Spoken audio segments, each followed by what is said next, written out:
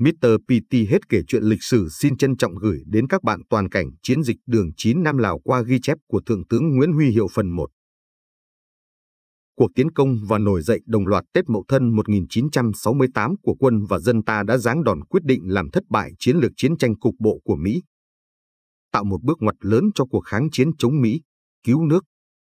Chính quyền Mỹ buộc phải từ bỏ chiến lược chiến tranh cục bộ, xuống thang chiến tranh, chủ trương phi Mỹ hóa cuộc chiến tranh và ngồi vào bàn đàm phán với ta tại hội nghị Paris. Ở miền Nam Việt Nam, Mỹ đã đề ra kế hoạch chiến lược gồm 3 bước để thực hiện chiến lược Việt Nam hóa chiến tranh. Bước 1.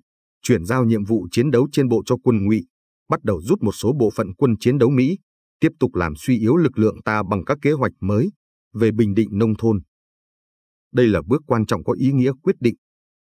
Bước 2 chuyển giao nhiệm vụ chiến đấu trên không cho quân ngụy, làm cho quân ngụy mạnh lên để đủ sức đương đầu với ta. Bước 3.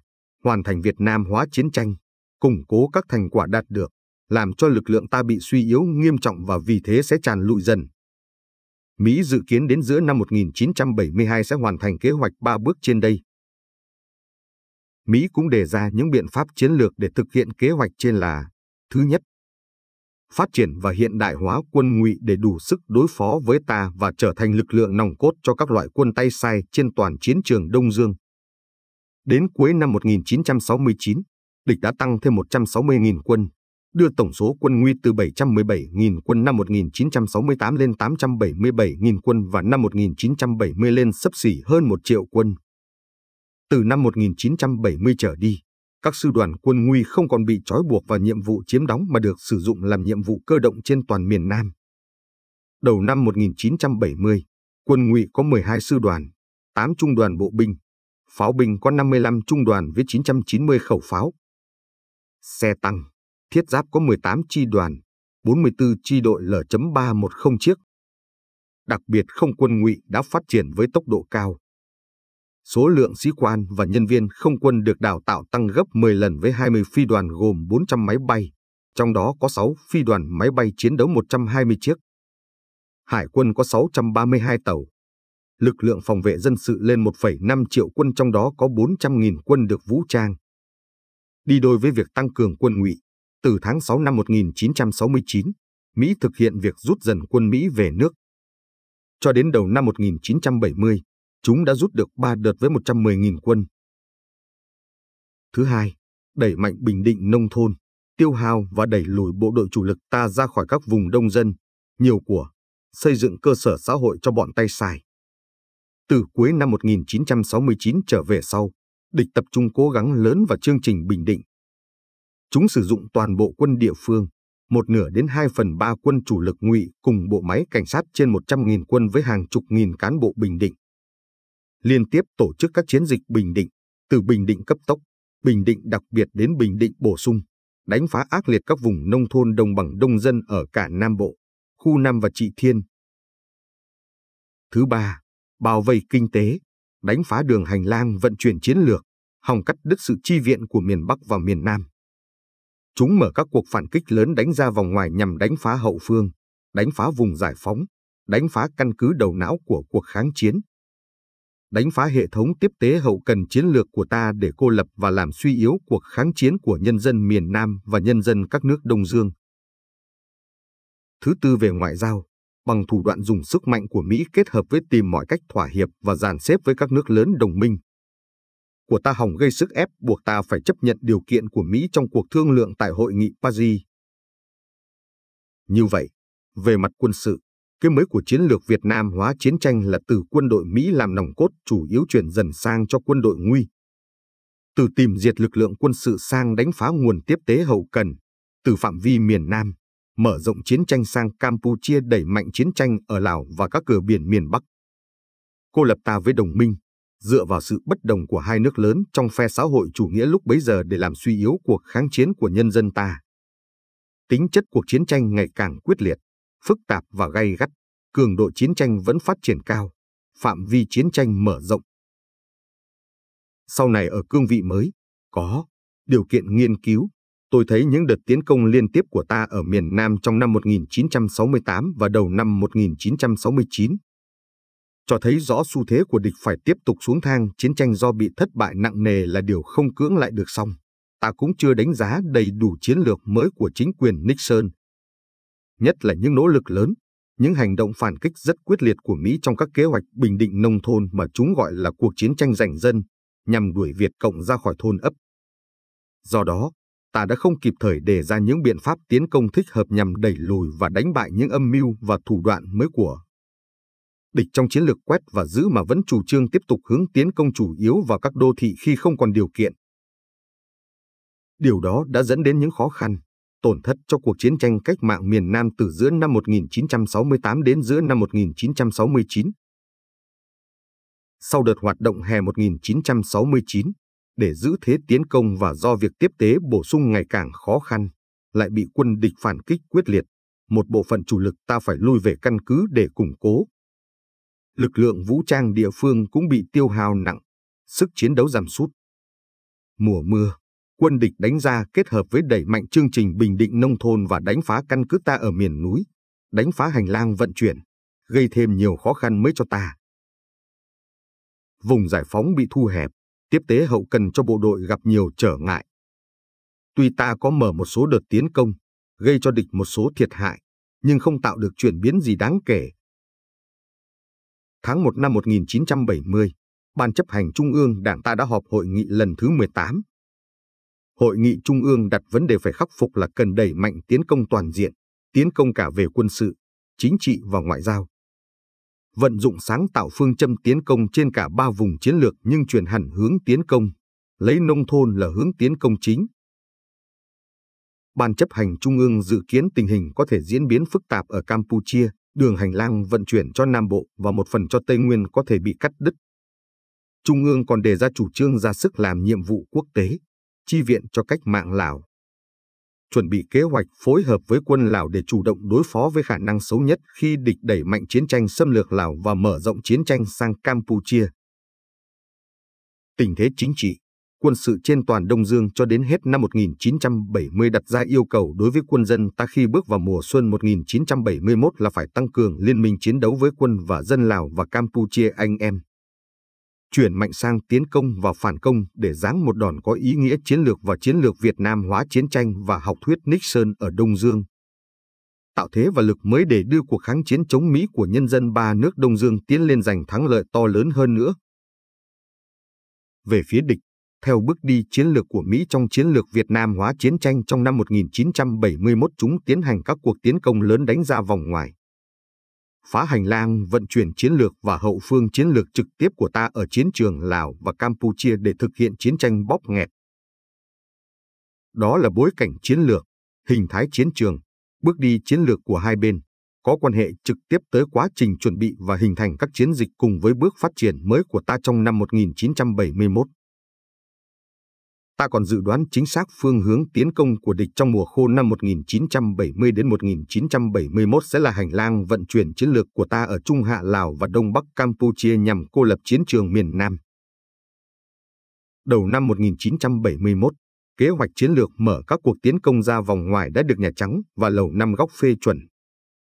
Địch huy động 88 tiểu đoàn bộ binh, một năm thiết đoàn để mở ba cuộc tiến công quy mô lớn tiến hành đồng thời và liên tiếp trên ba hướng đánh vào tuyến vận tải chiến lược của ta.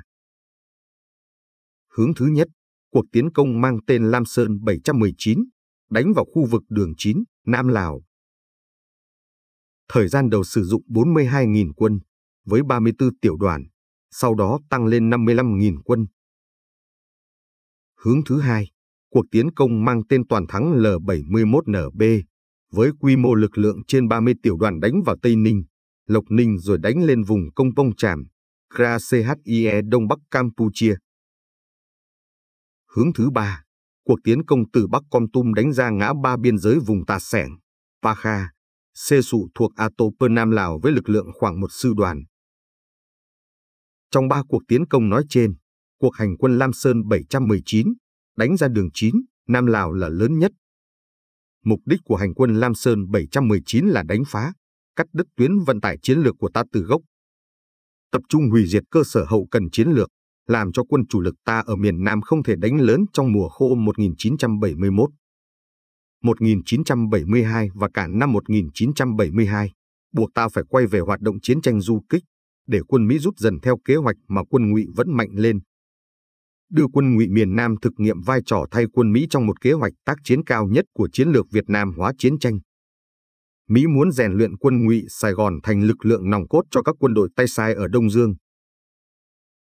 Lực lượng tham gia cuộc hành quân Lam Sơn 719 gồm tất cả các lực lượng dự bị chiến lược cùng lực lượng cơ động của vùng một chiến thuật Ngụy. Các lực lượng tiếp vận trung ương của quân Ngụy được sự chi viện hỏa lực của không quân Mỹ, một bộ phận lực lượng bộ binh và thiết giáp Mỹ phối hợp tác chiến yểm hộ phía sau. Quân Ngụy Lào phối hợp hoạt động ở phía tây đường 9V5 tiểu đoàn, từ đó tiến đánh ra khu vực Mường Pha Lan.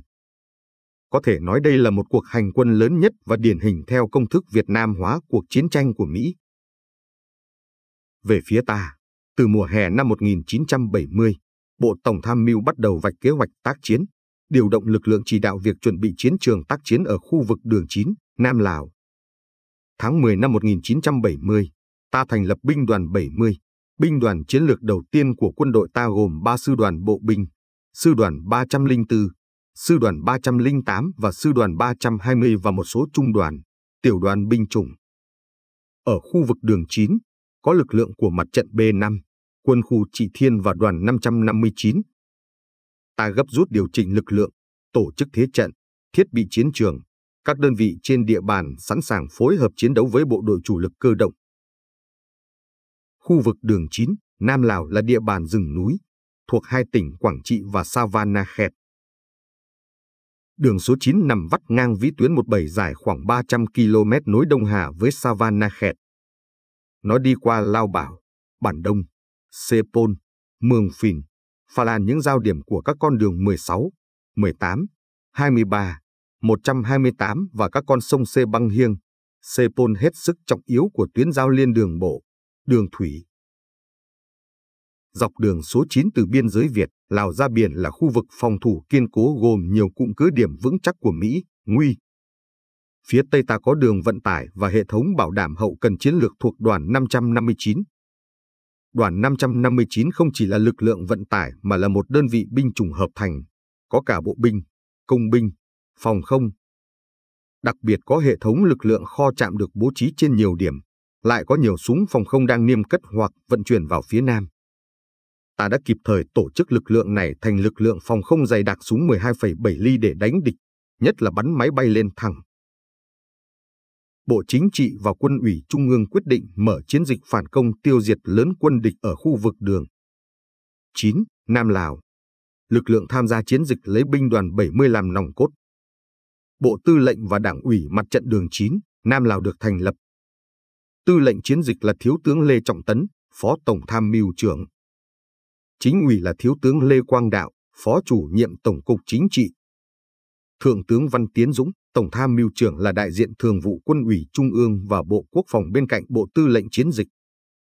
Đây là cơ quan có đủ khả năng, quyền hạn chỉ huy tất cả các lực lượng tham gia chiến dịch và tổ chức hiệp đồng với các chiến trường có liên quan như quân khu Trị Thiên, mặt trận đường 9B5, đoàn 559 và Liên quân Việt Lào ở Nam Lào.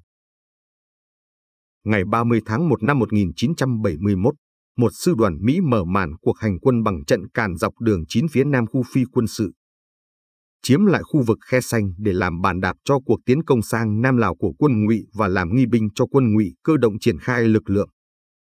Từ ngày 30 tháng 1 đến ngày 7 tháng 2 năm 1971, bằng đường không và đường bộ, quân ngụy đã chuyển 22 tiểu đoàn bộ binh và pháo ra khu vực Đông Hà, Ái Tử, Khe Xanh, chúng cho lữ đoàn 147 lính thủy đánh bộ tập vượt sông phía tây cầu Đông Hà và đưa lữ đoàn 258 lính thủy đánh bộ từ La Vang ra cửa Thuận An xuống tàu thủy đi lên hướng Bắc.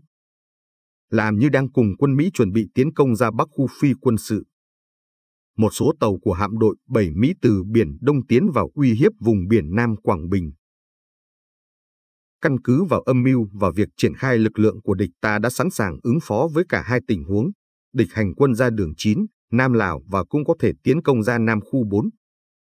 Do đó, nhiều đơn vị chủ lực của ta bố trí ngay sau địa bàn Nam khu 4 để chủ động đối phó với cả hai tình huống. Về sau, ta phát hiện ngày càng rõ, Nam khu 4 chỉ là hướng địch nghi binh, nên kịp thời chuyển trọng tâm chuẩn bị vào hướng đường 9, Nam Lào. Ngày 7 tháng 2 năm 1971, địch triển khai lực lượng chiếm lĩnh xong khu vực tập kết tiến công hướng đường 9, Nam Lào. Phía trước là đội hình các đơn vị quân ngụy, phía sau từ hướng hóa về thị xã Quảng Trị là quân Mỹ và lực lượng dự bị chiến dịch của quân ngụy. Phía tây đường 9, quân ngụy Lào nống ra mường Pha Lan và Pha Đô Tuyên để phối hợp với cuộc hành quân. Địch tăng cường hoạt động biệt kích thám báo, trinh sát, ném bom bắn phá các trọng điểm trên trục đường vận chuyển chiến lược của ta. Ngày 2 tháng 2 năm 1971, Sở Chỉ huy hỗn hợp tại Đông Hà diễn ra cuộc họp giữa quân đội Mỹ và quân nguy Sài Gòn. Đây là cuộc họp quan trọng để xác định kế hoạch hành quân gồm đủ mặt các tướng tá trọng yếu chỉ huy cuộc hành quân, Su Dốc Len, tổng chỉ huy các lực lượng tham chiến của quân đội Mỹ, Hoàng Xuân Lãm, chỉ huy các lực lượng quân nguy Sài Gòn, Dư Quốc Đống tư lệnh sư đoàn dù ngụy, Phạm Văn Phú sư trưởng sư đoàn một ngụy, Nguyễn Trọng Luật chỉ huy thiết giáp và toàn thể bộ tham mưu liên quân. Su nói, một tháng oanh kích không lực Hoa Kỳ đã tấn diệt các lực lượng cộng quân ở những vùng quân lực Sài Gòn sắp đi tới và quân đội phái hữu là vừa chiến thắng lớn ở Mường Phiên đang chờ đón chúng ta. Tướng Lãm đứng dậy trịnh trọng, đây là một cuộc hành quân quy mô lớn chưa từng có của quân lực Việt Nam Cộng Hòa dưới sự yểm trợ của pháo binh và không lực Hoa Kỳ. Một cuộc hành quân có ý nghĩa trọng đại để chứng minh cho học thuyết Nixon và chương trình Việt Nam hóa thành công. Một cuộc hành quân có tầm chiến lược sẽ làm thay đổi cục diện chiến tranh ở Đông Dương, dồn Việt Cộng đến chỗ bế tắc. Dừng một lát, Lãm nói tiếp, mục tiêu của cuộc hành quân trước hết là tiến đánh vùng Nam Lào, cắt đứt mọi đường tiếp tế của đối phương, lục soát, phá hủy mọi kho tàng của đối phương, thiết lập các căn cứ hỏa lực. Khi thắng lợi sẽ phát triển xuống Hạ Lào, vùng Boloven, chiếm hoàn toàn vùng này, nối liền với Nam Lào thành một vùng hoàn chỉnh. Sau đó chúng bàn kế hoạch hành quân. Chúng chia khu vực đường số 9, Nam Lào thành 3 khu vực, khu A, La Tương, Cha Kỳ, cao điểm 500. Khu B, khu trung tâm, Trục chính là đường số 9, mở rộng sang hai bên Bắc và Nam mỗi chiều trên dưới 10 km. Khu C, gồm các điểm cao ven đường số 9 chia 660, 462, Phu Ốc Tom, Khe Tan. Các lực lượng tham chiến của quân ngụy Sài Gòn gồm Sư đoàn Dù, Sư đoàn Lính Thủy đánh bộ, Sư đoàn 1, Liên đoàn một biệt động quân. Các lực lượng thiết giáp 460 xe tăng, xe thiết giáp, pháo binh 280 khẩu pháo các loại của lực lượng chủ bị chiến lược quốc gia và vùng chiến thuật. Lực lượng yểm trợ của Mỹ có sư đoàn 101, hai lữ đoàn của sư đoàn American, không quân có 600 máy bay trong đó có 300 máy bay lên thẳng. Liên đoàn một biệt động quân và lữ đoàn dù ba đảm nhiệm khu vực A. Bộ phận sư đoàn dù thiếu và thiết giáp phụ trách trung tâm cuộc hành quân đường số 9, sư đoàn một bộ binh và các lực lượng phối thuộc phụ trách khu C. Chúng quy định ngày tiến quân, nở cộng 9 tức là ngày 8 tháng 2 năm 1971. Ngày tiến công đánh chiếm Bản Đông, nở cộng 10 tức là ngày 9 tháng 2 năm 1971. Ngày đánh chiếm Sepol, nở cộng 12 tức là ngày 11 tháng 2 năm 1971. Cuộc tiến công đường số 9, Nam Lào của địch bắt đầu. Vào thời gian này, Trung đoàn 27 sau khi chuẩn bị xong phương án đánh địch ở phía đông và phía tây đường 76, hỗ trợ cho phong trào chống xúc dân của địch ở hai huyện Do Linh và Cam Lộ trước Tết Nguyên đán thì nhận được lệnh của Bộ Tư lệnh B5, Trung đoàn 27 khẩn trương làm công tác chuẩn bị. Phối hợp với các đơn vị bạn đánh địch ở khu vực Tân Lâm đi Úc Nghi, rào quán cánh đông của chiến dịch đường số 9, Nam Lào. Tết đến, cán bộ, chiến sĩ trung đoàn 27 chúng tôi đã đón ba mùa xuân trên mảnh đất Quảng Trị. Đón Tết này khẩn trương hơn. Mọi người ai vào việc nấy, cả đơn vị như một guồng máy chạy đều. Bộ phận đi chuẩn bị chiến trường ăn Tết trước, bộ phận ở nhà vừa chuẩn bị gói bánh trưng, làm bàn thờ Tổ quốc vừa chuẩn bị chiến đấu. Đặc biệt, cán bộ, chiến sĩ trung đoàn 27 còn được các đoàn văn công của hai tỉnh Nghệ An, Hà Tĩnh vượt qua bom đạn của địch vào phục vụ tiếp thêm sức mạnh cho trung đoàn bước vào mùa chiến dịch mới. Nhiệm vụ khẩn trương, cán bộ, chiến sĩ trung đoàn 27 không kể ngày đêm lao vào công việc chuẩn bị. trung đoàn chuyển toàn bộ đội hình và kế hoạch bảo đảm lên phía Tây. Trong khi đó địch đã răng chốt ở Ba Lào, khe sóc và các trục đường tiếp cận của ta. Các đơn vị trong trung đoàn vừa vận tải gạo, đạn, xây dựng tuyến chiến đấu, vừa hành quân cải thế, tranh chấp với thời gian, với địch từng phút, từng giờ. Cán bộ chỉ huy chúng tôi đi thực địa tìm vị trí giấu hàng, giấu quân. Từ động nóc vào đến đường số 9, đi đến đâu chúng tôi đều phải đánh dấu đường hành quân đến đó. Chúng tôi phải vượt điểm cao 1001, động La Dường rất vất vả, gian nan. Những đường cũ địch đã đổ quân chốt chặn, chúng tôi phải mở đường mới để đánh địch, đưa đơn vị vào đường chín an toàn.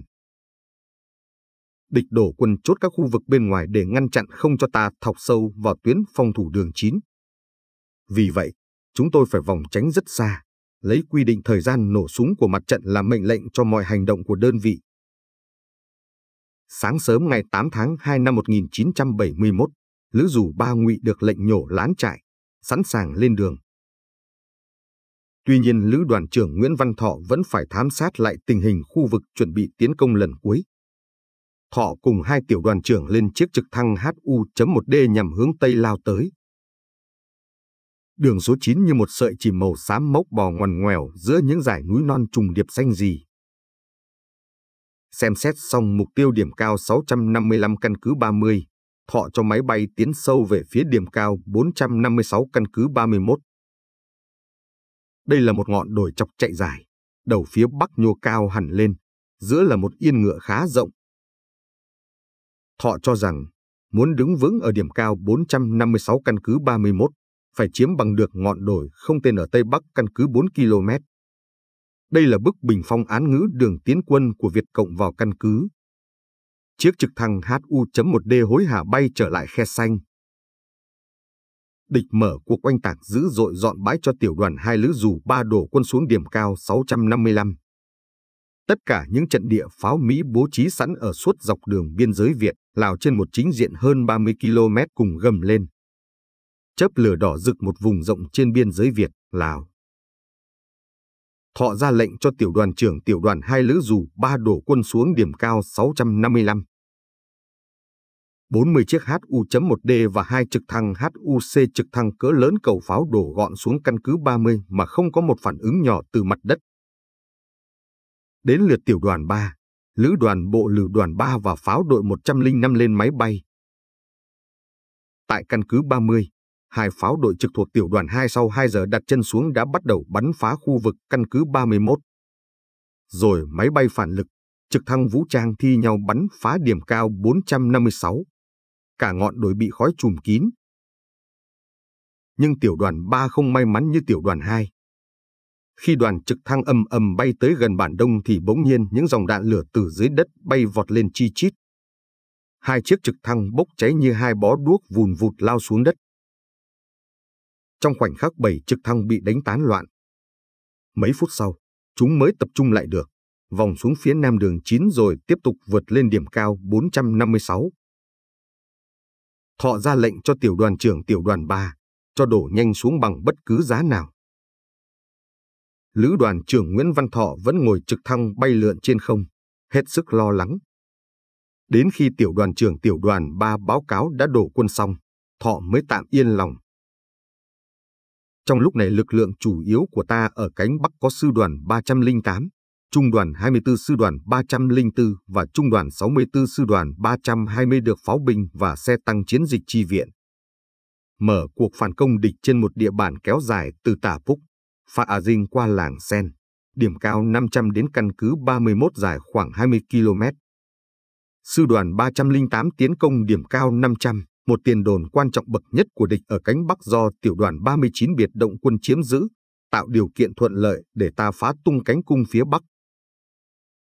Sau khi phân tích căn cứ 30 và căn cứ 31, căn cứ nào là trọng yếu của địch ở phía Bắc đường 9, Bộ Tư lệnh Chiến dịch quyết định. Căn cứ 31 nơi đặt sở chỉ huy lữ đoàn 3 do tiểu đoàn 3 và tiểu đoàn pháo binh hỗn hợp chiếm giữ. Đây cũng là lực lượng thiện chiến bậc nhất của quân ngụy Sài Gòn Chiếm giữ điểm cao này, quân địch sẽ kiểm soát được hoàn toàn đường 16A, ngăn chặn các lực lượng ta phát triển xuống Bản Đông. nhiệm vụ tiêu diệt căn cứ 81 được giao cho Trung đoàn 64. Ngay sau khi đặt chân xuống căn cứ 31, Đại tá Nguyễn Văn Thọ đã nhận thấy ngay vị trí chiến thuật của ngọn đồi không tên. Nó là bức bình phong của căn cứ 31. Nếu quân ta muốn vào căn cứ 31 nhất thiết phải vượt qua đó. Về phía ta, muốn tiến công điểm cao 456 thì phải chiếm bằng được đồi không tên. Ngày 13 tháng 2 năm 1971, 10 giờ địch đổ 16 lần chiếc trực thăng xuống đồi không tên. 10 giờ 30 phút, tiểu đoàn 9, trung đoàn 64 được lệnh bí mật xuất kích. Tiểu đoàn 9 chiến đấu liên tục, quyết liệt. Đến sầm tối ngày 13 tháng 2 năm 1971, tiểu đoàn 6 dù của địch đã hoàn toàn bị tiêu diệt. Bức bình phong của căn cứ 31 bị sụp đổ. Đường số 9 trong những ngày này trở thành con đường huyết mạch của cuộc hành quân Lam Sơn 719. Các trận đánh giữa ta và địch đã diễn ra quyết liệt ở điểm cao 456, 500, cầu Cha Kỳ. Các sư, đoàn chủ lực 308, 320A, 324. Hiệp đồng với các đơn vị xe tăng, pháo binh dồn dập tiến công quân địch cả trên cánh Bắc và cánh Nam của chiến dịch. Quân chủ lực ngụy có nguy cơ bị tiêu diệt lớn ở Nam Lào. Để chống đỡ những đòn phủ đầu đó, Mỹ, ngụy dồn thêm quân về tăng cường cho cuộc hành quân. Sư đoàn American được Mỹ đổ ra đường số 9 để ngăn chặn ta thọc sâu cắt đường vận chuyển, tiếp tế của lính ngụy ở Nam Lào. Tiểu đoàn 2, Trung đoàn 27 do anh Bùi Xuân Các chỉ huy được giao nhiệm vụ đưa đơn vị tiến sâu vào đường số 9, đánh phối hợp chia cắt. Tiểu đoàn 2 phải vượt qua bốn tuyến ngăn chặn của địch trên dọc đường hành quân. Ngày 7 tháng 2 năm 1971, Tiểu đoàn 2 đã đánh một trận phục kích trên đường số 9, bắn cháy 9 xe vận tải quân sự, loại khỏi vòng chiến đấu hơn 90 tên địch. Cán bộ chiến sĩ tiểu đoàn 2 tiếp tục bám sát đường số 9 để phục kích các đoàn xe địch. Đội hình chiến đấu của tiểu đoàn 2 lúc này nằm xen kẽ giữa các tuyến chốt của địch vừa dựng nên việc giấu quân, cơ động vô cùng khó khăn. Nhiều khi suốt ngày chiến sĩ ta phải nằm giữa những bụi cây, bờ cỏ chờ đêm xuống, cán bộ bí mật ra sát đường số 9 theo dõi các đoàn xe địch qua lại để tổ chức đơn vị nổ súng kịp thời. Tiểu đoàn trưởng Bùi Xuân các ngày đêm bám sát từng trận địa phục kích của các đại đội để tổ chức chiến đấu. Cứ mỗi lần có đoàn xe sắp đi qua, chúng lại bắn pháo cày sới hai bên đường số 9. Trận địa chiến đấu của tiểu đoàn 2 nằm trong tầm hỏa lực dày đặc của địch, nhưng cán bộ, chiến sĩ tiểu đoàn quyết không rời trận địa khi trận địa phục kích của tiểu đoàn chỉ cách mặt đường 5, 70 mét thì hiệu quả chiến đấu sẽ rất cao. Qua nhiều trận đánh, tiểu đoàn 2 đã gây cho địch nhiều tổn thất và làm cho địch lo nơm nớp. Trong khi tiểu đoàn 2 chiến đấu đánh giao thông địch trên đường số 9, thì tiểu đoàn 3 của tôi làm công tác vận chuyển gạo, đạn cho trung đoàn đến nơi tập kết an toàn. Sau 7 ngày làm công việc vận chuyển, ngày 7 tháng 2, tôi nhận được lệnh của Trung đoàn trưởng Phạm Minh Tâm đưa tiểu đoàn vào chặn đánh sư đoàn American. Ở Động Na vừa được điều ra làm nhiệm vụ bảo vệ cuộc hành quân của quân ngụy Sài Gòn ở phía bắc đường số 9. Tôi trao đổi với chính trị viên Trần Xuân Gừng, dùng đại đội 2 tiến công quân Mỹ ở Động Na. Tối ngày 9 tháng 2 năm 1971, đại đội 2 xuất kích, đánh Động Na. Sau khi đại đội 2 đã triển khai xong đội hình chiến đấu, tôi ra lệnh cho đại đội 4 hỏa lực bắn 20 quả đạn cối và DKZ-75 vào những nhà bạt, công sự giã chiến của quân Mỹ. Tiếp đó, đại đội 2 tiến công. Các loại súng B-40, B-41, cối 60 ly bắn phá mãnh liệt vào các cụm quân địch.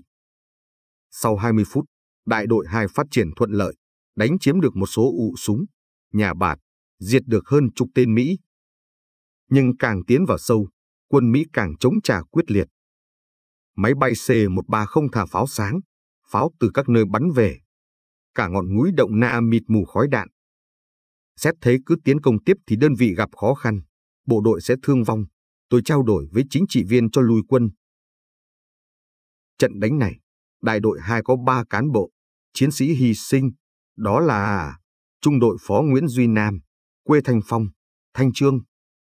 Nghệ An và hai chiến sĩ là Nguyễn Công Tín, quê xóm 9, Thanh Hòa, Thạch Hà, Hà Tĩnh, Trần Định, quê Nam Xuân, Thanh Xuân, Thạch Hà, Hà Tĩnh. ba đồng chí hy sinh được an táng tại Đông Nam núi Ba Lào. Ngày 22 tháng 2 năm 1971, chúng tôi sử dụng đại đội 3 đón đánh quân Mỹ ở động Khe Sóc. Trong những ngày này, đại đội 3 lập chiến công xuất sắc, bắn rơi năm máy bay lên thẳng của Mỹ làm cho việc đổ quân chốt giữ hướng đông chiến dịch đường 9, Nam Lào của địch bị gián đoạn, khó khăn. Lúc này, hướng Nam Lào, quân ngụy Sài Gòn đang bị sư đoàn 320 vây đánh quyết hệt ở căn cứ 31. Căn cứ này gồm 4 mỏm liên tiếp, mỏm 1 và mỏm 2 là khu trung tâm có bộ chỉ huy lữ đoàn đóng, mỏm 3 và 4 phía tây bắc do tiểu đoàn 3 quân dù chốt giữ. Trận địa pháo, sân bay trực thăng giã chiến nằm xen kẽ ở giữa các mỏm đồi. Toàn bộ căn cứ 31 nằm trên một ngọn đồi toàn cỏ danh, thi thoảng mới có một vài bụi le bị bom cháy đốt trụi. Dưới sườn đồi là những rừng cây rậm rạp. Sư đoàn 320 sử dụng trung đoàn 64 tiến công căn cứ 31 bằng chiến thuật vây lấn. 6 giờ ngày 20 tháng 2 năm 1971, theo kế hoạch hiệp đồng tất cả các trận địa hỏa lực của ta được lệnh nổ súng, tạo thời cơ cho bộ binh tập trung vào nhiệm vụ xây dựng chiến hào vây lấn. Địch cho nhiều tốp máy bay F-6 ném bom bắn phá trận địa vây lấn của ta. Suốt ngày 21 và cả ngày 22, căn cứ 31 vẫn bị pháo binh và bộ binh ta bắn phá. Ngày 23 tháng 2, Bộ Tư lệnh Chiến dịch chỉ thị cho Trung đoàn 64 hoãn tiến công căn cứ 31. Vì qua 3 ngày vây lấn Trung đoàn vẫn chưa tạo được thế để chuyển sang giai đoạn tiến công dứt điểm trong khi đó lại hao tổn sinh lực và phương tiện đáng kể. Việc giải quyết căn cứ 31 là một vấn đề lớn, nó liên quan đến toàn bộ tình thế của chiến dịch. Có diệt được căn cứ 31 thì ta mới mở nhanh cánh cửa để đưa lực lượng tiến đánh bản đông. Bộ Tư lệnh Chiến dịch chỉ đạo Sư đoàn 320 và trực tiếp cho Trung đoàn 64. Thay đổi hướng tiến công chủ yếu về phía đông nam căn cứ 31 để tạo thế bất ngờ và có thể tiến công dứt điểm bằng chiến đấu hiệp đồng binh chủng. Hướng Tây Bắc chuyển thành hướng thứ yếu. Ngày 25 tháng 2 năm 1971, được chọn là ngày tiến công căn cứ 31. Đúng 12 giờ 30 phút, từ nhiều phía, pháo binh ta bắn phá các cứ điểm của địch căn cứ 31 chìm ngập trong khói đạn. Cuộc tiến công quyết định bắt đầu. Cuộc chiến đấu diễn ra ác liệt.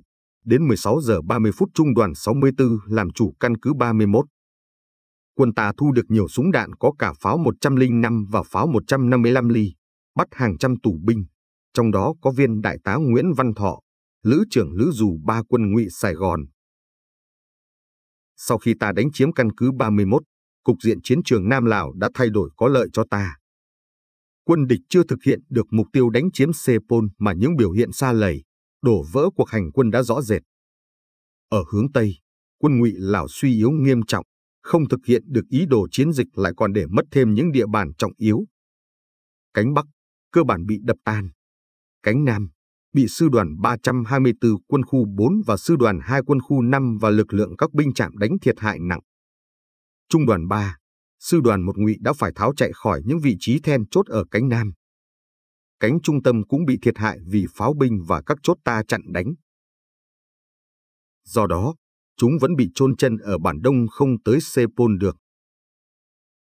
Tuy vậy, chúng vẫn vơ vét các lực lượng đã bị chiến lược ném vào cuộc chiến hòng làm xoay chuyển tình thế bộ chỉ. Huy liên quân Mỹ, Nguy đã tung toàn bộ sư đoàn lính thủy đánh bộ, trung đoàn 2 sư đoàn L cùng thiết đoàn 7 vào canh bạc cuối cùng này. Ngày 1 tháng 3 năm 1971, chúng buộc phải điều chỉnh mục tiêu đánh chiếm Sepol. Đến thời điểm đó chúng coi Sepol như một mục tiêu để tuyên truyền chứ không phải một mục tiêu quân sự nữa. Sáng 7 tháng 3, Bộ Chỉ huy Liên quân Mỹ, ngụy dốc sức ném trung đoàn hai bộ binh xuống phía tây nhà thờ Sepol, nhưng cả quan lẫn lính của trung đoàn này đã bị pháo binh và bộ binh ta tiến công quyết liệt, phải ôm đầu máu chạy về bản đông. Như vậy, mục tiêu đánh chiếm khu vực sông Sepol của địch, cắt đứt đường mòn Hồ Chí Minh, con đường vận tải chiến lược không thực hiện được. Nhiều đơn vị lính ngụy đã tự động rút vào rừng phía nam đường số 9 để tháo chạy. Xe pháo bị hư hỏng ở Nam Lào được máy trực thăng cỡ lớn của Mỹ cầu về Đông Hà, Ái Tử, Trước tình hình đó, Bộ Tư lệnh Chiến dịch chủ trương tập trung lực lượng bao vây cụm cứ điểm Bản Đông. Ngày 17 tháng 3 năm 1971, pháo binh ta được lệnh bắn phá tiêu diệt sinh lực địch và các lực lượng tham chiến thực hiện bao vây Bản Đông. Ngày 18 tháng 3, Bộ Tư lệnh Chiến dịch thông báo địch chuẩn bị rút chạy khỏi Bản Đông và lệnh cho tất cả các đơn vị trên tuyến vây ép tiến công những mục tiêu trọng yếu nhất. Hết phần 1 xin cảm ơn và hẹn gặp lại các bạn.